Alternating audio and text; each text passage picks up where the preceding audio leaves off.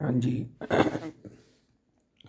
Good morning everyone ਆਪਣਾ next ਉਡਾਨ sheet ਕਰ ਰਹੇ ਹਾਂ ਜੀ ਮੈਥਮੈਟਿਕਸ ਦੀ ਦੇਖੋ ਪਹਿਲਾ ਕੁਐਸਚਨ ਕਹਿੰਦਾ ਜੇ ਕੋਈ ਵੀ ਫੰਕਸ਼ਨ ਦਾ ਇਨਵਰਸ ਕਦੋਂ ਨਿਕਲਦਾ ਹੈ ਜੀ ਇਨਵਰਸ ਲਈ ਕੀ ਕੰਡੀਸ਼ਨ ਹੈ ਇਨਵਰਸ ਤਦ ਨਿਕਲੂਗਾ ਜੇ ਫੰਕਸ਼ਨ 1 1 ਵੀ ਹੈ ਤੇ ਔਨ ਟੂ ਵੀ ਹੈ ਮਤਲਬ ਕਿ ਫੰਕਸ਼ਨ ਜੇ ਬਾਈਜੈਕਟਿਵ ਹੈ ਦੈਨ ਆਪਣੇ ਕੋ ਫੰਕਸ਼ਨ ਦਾ ਇਨਵਰਸ ਨਿਕਲੂਗਾ। ਨਹੀਂ ਨਹੀਂ ਨਿਕਲਣਾ ਜੀ। ਠੀਕ ਹੈ ਜੀ।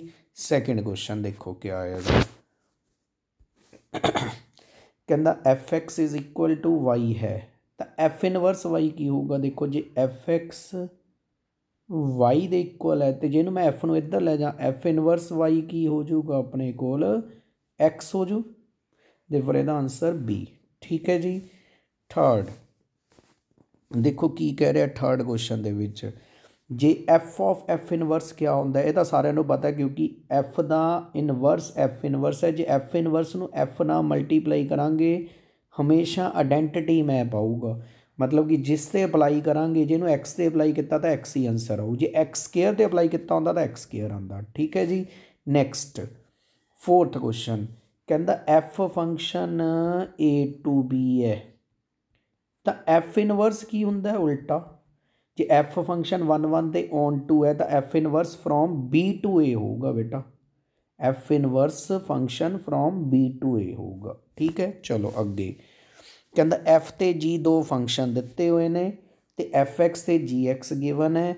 ਕਹਿੰਦਾ fx ਆ ਹੈ gx ਆ ਹੈ ਕਹਿੰਦਾ ਫੌਗ ਕੈਲਕੂਲੇਟ ਕਰੋ। ਕੰਪੋਜੀਸ਼ਨ ਦਾ ਮਤਲਬ f o g f o g ਕਿਵੇਂ ਕੈਲਕੂਲੇਟ ਕਰਦੇ ਹੁੰਦੇ ਸੀ ਬੇਟਾ? ਆ ਤਰੀਕਾ ਸੀ। F ਉਹ ਦਾ ਮਤਲਬ ਕੁਝ ਨਹੀਂ ਹੁੰਦਾ ਮਲਟੀਪਲਾਈ g ਆਫ x ਇਹ ਹੁੰਦਾ ਸੀ, ਫਿਰ ਇੱਥੇ ਦੇਖੋ f ਐਵੇਂ ਹੀ gx ਦੀ ਵੈਲਿਊ ਪੁੱਟ ਕਰ ਦੋ, ਆਪਾਂ ਨੂੰ ਕੁਐਸਚਨ ਚ ਗਿਵਨ ਹੈ। ਦੇਖੋ gx ਕਿੰਨਾ ਹੈ? 3x 4 ਫਿਰ ਕੀ ਕਰਨਾ ਹੈ? F ਦੇ ਵਿੱਚ x ਦੀ ਜਗ੍ਹਾ 3x 4 ਲਿਖ ਦੋ। ਦੇਖੋ f ਕੀ ਹੈ ਆਪਣੇ ਕੋਲ? ਦੇਖੋ f ਕੀ ਹੈ? Fi x ਦੀ ਜਗ੍ਹਾ ਤੇ 3x 4 2x ਦੀ ਜਗ੍ਹਾ 3x 4 ਬ੍ਰੈਕਟ ਬੰਦ ਪਲੱਸ 1 ਆ ਤੁਹਾਡਾ ਫੌਗ ਆ ਗਿਆ। ਐਵੇਂ ਤੁਸੀਂ ਗੋਫ ਵੀ ਕੱਢ ਸਕਦੇ ਹੋ। ਕਲੀਅਰ ਹੈ? ਚਲੋ, ਅੱਗੇ।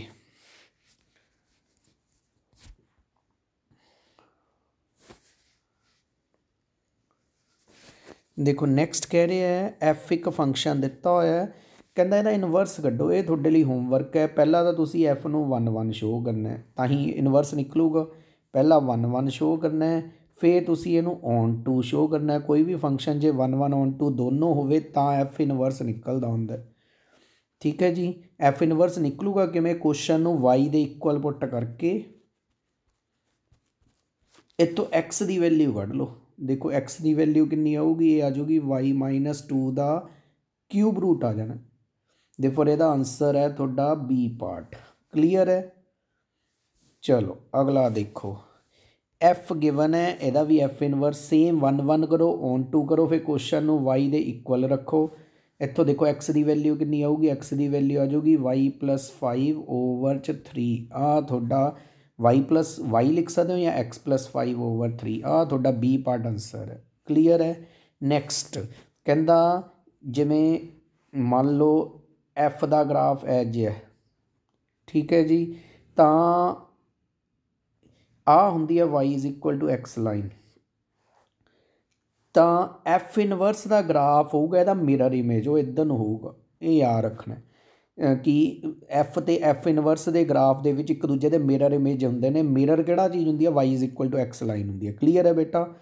ਇਹ ਧਿਆਨ ਰੱਖਣਾ ਤੇ ਜੇ ਕਦੇ ਵੀ f ਤੇ f ਇਨਵਰਸ ਸੇਮ ਹੈ ਠੀਕ ਹੈ, ਜੇ ਤਾਂ ਮਿਰਰ ਇਮੇਜ ਬਿਲਕੁਲ ਸੇਮ ਹੈ, ਤਾਂ ਉਹਦੇ ਸਾਰੇ ਸੋਲੂਸ਼ਨ ਆ ਲਾਈਨ ਦੇ ਉੱਤੇ ਹੀ ਹੋਣਗੇ ਜੀ। It has same solution as y x ਜੇ ਦੋਨੋਂ ਪਾਸੇ ਗ੍ਰਾਫ ਸੇਮ ਬਣਿਆ ਹੋਇਆ, ਤਾਂ ਉਹਦੇ ਸਾਰੇ ਸੋਲੂਸ਼ਨਸ fx x ਦੇ ਉੱਤੇ, y x ਲਾਈਨ ਤੇ ਹੋਣਗੇ। ਕਲੀਅਰ ਹੈ ਬੇਟਾ? ਦੇਖੋ, ਆਈਓ ਲਿਖਿਆ ਹੋਇਆ ਹੈ। fx ਬਾਈਜੈਕਟਿਵ ਹੋਵੇ, f inverse is the mirror image ਸਹੀ ਹੈ ਗੱਲ ਇਹ।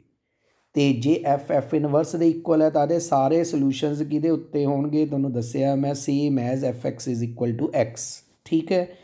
ਲੋ ਲਾਸਟ ਵਾਲਾ ਗੌਫ ਕੱਢਣਾ ਹੈ ਜੀ, ਇਹ ਤੁਹਾਡੇ ਲਈ ਹੋਮਵਰਕ ਹੈ। ਤੁਸੀਂ ਇਹਨੂੰ ਕਰਕੇ ਮੈਨੂੰ ਕਮੈਂਟ ਬਾਕਸ 'ਚ ਮੈਸੇਜ ਪਾ ਕੇ ਦੱਸਣਾ ਹੈ।